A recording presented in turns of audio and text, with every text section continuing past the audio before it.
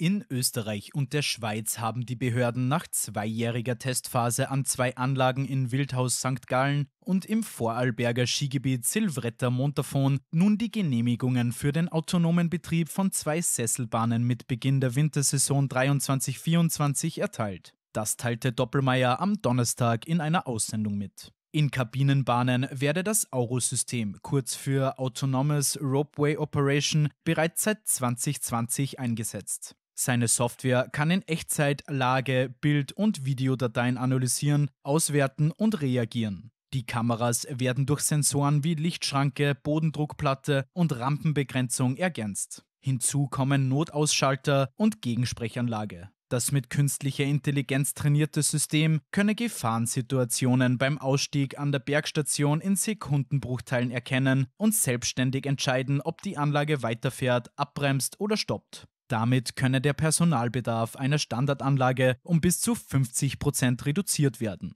Unter Berücksichtigung der Lizenzkosten sei mit Auro eine Einsparung von bis zu 35 Prozent der Personalkosten möglich. Zudem könne ein Mitarbeiter mehrere Sesselbahnen von der Talstation aus betreuen. Damit könne der zunehmende Personalmangel abgefedert werden, außerdem ermüde das System nicht, so Doppelmeier. Eine Nachrüstung sei auch bei bestehenden Anlagen möglich.